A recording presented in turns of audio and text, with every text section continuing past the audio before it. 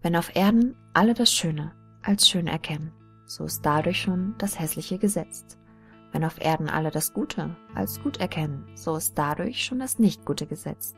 Denn Sein und Nichtsein erzeugt einander und hoch und tief verkehren einander. Stimme und Ton sich vermählen einander. Vorher und nachher verfolgen einander. Also auch der Berufene. Er verweilt im Wirken ohne Handeln. Er übt Belehrung ohne Reden.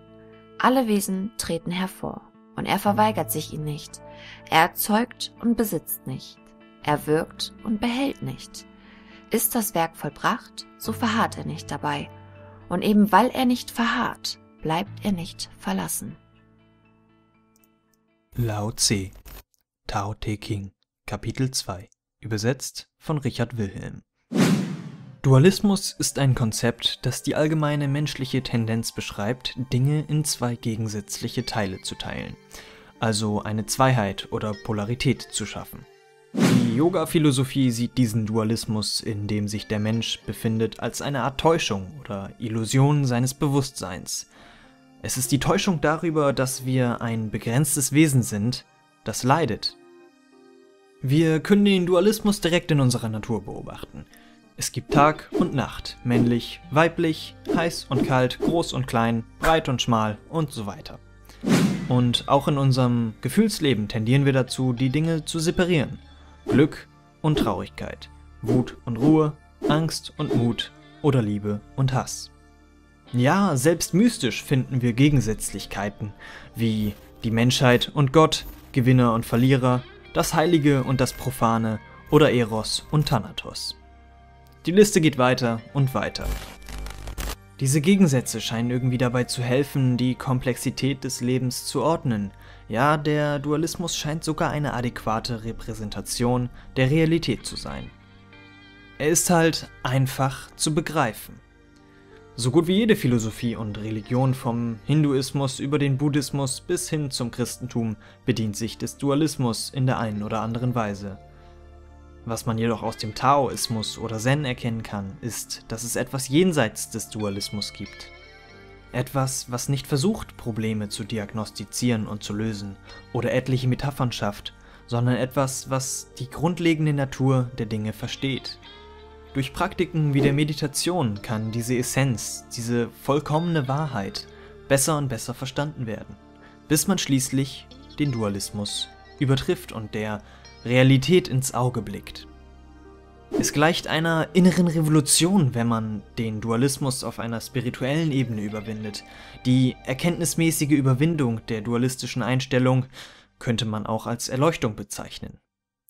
Hier sagt die yogische Lehre, dass erkannt wird, dass das Gute das einzige Prinzip der Welt ist. Das Leiden, das Schlechte und das Böse liegt nur in der unvollkommenen Erkenntnis der Welt, also in unserer, durch Meditation überwindbaren Selbsttäuschung.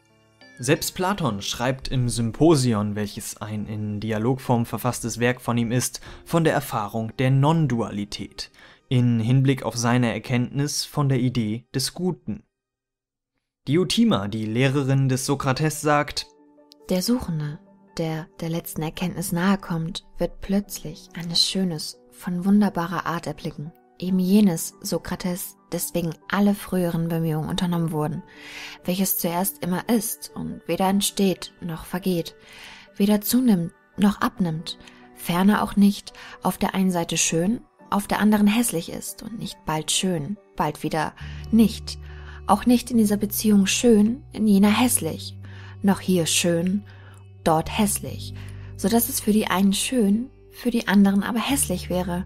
Auch wird sich ihm dieses Schöne nicht als ein Gesicht zeigen oder als Hände oder als irgendetwas anderes, woran der Körper Anteil hat, noch als irgendeine Rede oder Wissenschaft, nicht als etwas, das an irgendeinem anderen ist, in einem anderen Lebewesen, auf der Erde oder am Himmel oder sonst an irgendetwas anderem, sondern an sich und für sich und in sich, ewig in einer Gestalt. In diesem Zitat wird der Gedanke, dass die dualistische Sichtweise der Welt überwunden werden kann, indem man ein Schönes erblickt, das keine Kehrseite bereithält, immer wieder wiederholt. Das Tao oder Zen hingegen sagen uns, dass man Dualität transzendiert, wenn man versteht, wie Gegensätze in der Quelle, im Zen, harmonisieren. Das ist der mittlere Weg, von dem Buddha gesprochen hat. Widersprüche umarmen, sie zu synthetisieren, bringt uns Balance und Frieden. Wenn wir die fundamentale Einheit aller Dinge und aller Konzepte sehen, dann wird Leid nicht mehr schmerzhaft und Glück nicht mehr flüchtig. Wir fühlen uns weniger gezwungen, Widerstand zu leisten und gegen die natürlichen Eigenschaften der Natur, Zeit oder des Raumes zu kämpfen. Im Gegensatz zum Dualismus, welcher annimmt, dass Konzepte isoliert existieren und sich gegenüberstehen, zeigt uns Zen, das Tao, dass es gar keine Isolation gibt. Alles ist verbunden und von allem anderen abhängig, also wieso sollten wir uns dann hoffnungslos oder verzweifelt fühlen? Richtig, es gibt keinen Grund.